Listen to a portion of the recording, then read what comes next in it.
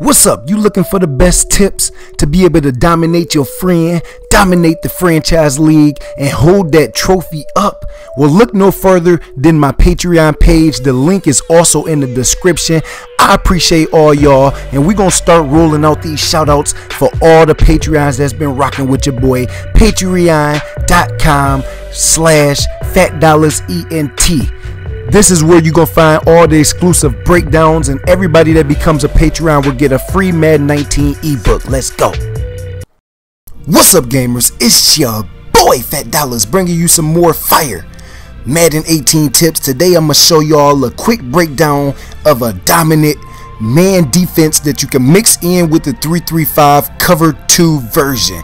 Now, on this defense, it's very easy and everybody is in a run first mindset on this defense. After setting it up, I realized anybody can run it. I did it with my 87 overall team on MUT. I did it with an 89 overall team on MUT. I did it with a 92 overall team on MUT just to see how consistent the defense is. And for some reason, 95% of the time they just stick to the person like glue and all the safeties and cornerbacks come in to nail you in the background on the runs and you're gonna see that a little later in the video so what you want to do is turn auto flip on I am in the Ravens defensive playbook and if you a Patreon make sure that you have your notifications on also because you're gonna get another scheme out of this defense where you cannot have to do all the man alignment and you can just get you a nice loop and blitz in or a spy blitz in out of this same defense. So on this play, you want to base a line, you want to pinch your line down.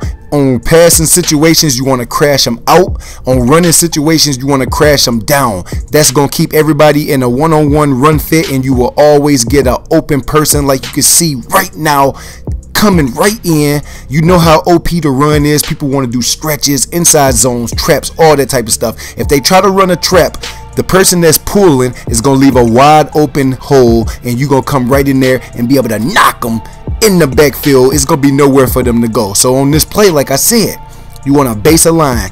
You want to pinch a line. we going to act like it's a run. You want to crash them down. And then you want to cloud flat your linebacker that's off the line of scrimmage. Now, Right before he hiked the ball, you want to base a line again. That's going to make your guys be over the top of the person because you know how the base a line glitch is. So you want to base a line, pinch a line, whether it's run or pass, crash down for run, crash out for pass, and then put one guy in the cloud. Now, on the opposite side of the field, you can have a guy in the yellow zone. He would play down the seams way better, or you can put him in a spy, and then the blitzer angle, you can also man him up, put him in the zone, or put him in the spy. Test it out in practice mode. I'm telling you, y'all gonna be thanking me later. Let's go.